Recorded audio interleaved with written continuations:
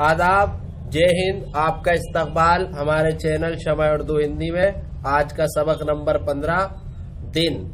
सात दिन का एक हफ़्ता कहलाता है। तो चलिए शुरू करते हैं। सात दिन का एक हफ़्ता कहलाता है। सबसे पहले ये हिंदी में नाम दिए गए हैं, लिखा उर्दू में।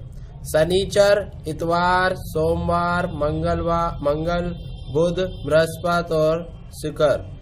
शनिचर बोलते हैं सब और इसी तरह यहाँ पे उर्दू में है, हफ़्ता, इतवार, पीर, मंगल, बुध, जुमेरात, जुमा। और नीचे फारसी में, शंबा यकशंबा दो शंबा, चार शंबा, पंच शंबा और जुमा। इतवार के दिन तमाम कचहरियाँ बंद रहती हैं।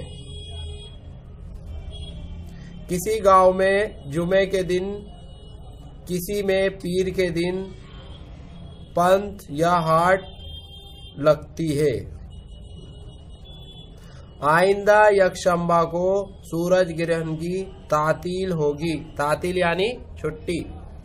दो शंबा, सह शंबा और चार शंबा को होली की छुट्टी होगी।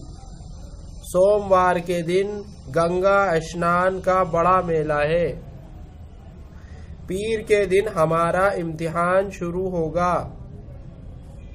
तो यहाँ पे आपने देखा किस तरह दिनों के नाम बताए गए और उनके साथ जुमलों का इस्तेमाल भी आपने सीखा होगा।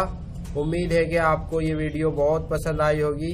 इसी तरह हमारे साथ जुड़े रहें और आगे की वीडियो देखते रहें। अगर अभी भी किसी को पढ़ने में कुछ परेशानी हो रही है तो वो डिस्क्रिप्शन में जो कायदे के लिंक है, वहाँ से बेसिक चीज़ें सिखाई गई हैं, वहाँ से सीख सकता है।